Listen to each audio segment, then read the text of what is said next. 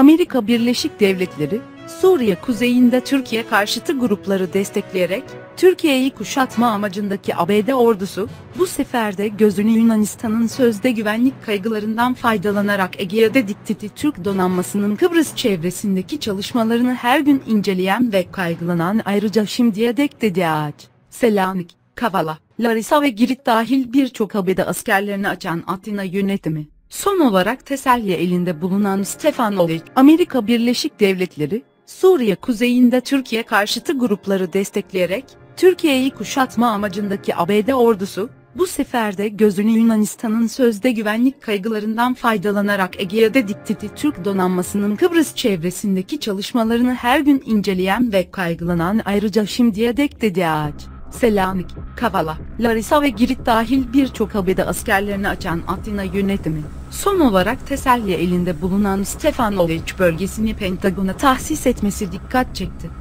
Özellikle Türkiye'nin konum olarak Balıkesir Ayvalık'ın tam karşısına denk düşen Stefanovic'te, Yunan ordusunun kullandığı, 1. Kara Kuvvetleri Havacılık Tugayı'na helikopter üssü kuruluyor.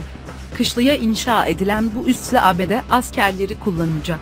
Amerikan ordusunun üs inşası tamamlandıktan sonra buraya Apache gibi ağır taarruz helikopterlerinin yanı sıra Kara Şahin ve Şihinok gibi nakliye helikopterleri de getireceği gündemde dikkat çeken başlıklar olarak gözüküyor.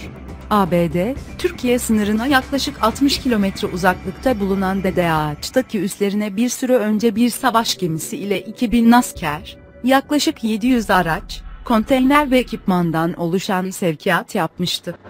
Yunan medyasının, İncirlik alternatifi dediği Girit'teki Suda üssü, Selanik'e yakın Sedes kentindeki üs, Kavala'nın Sarışaban, ilçesindeki üs ve Larisa'daki hava üsleri Amerikan ordusu tarafından kullanılıyor.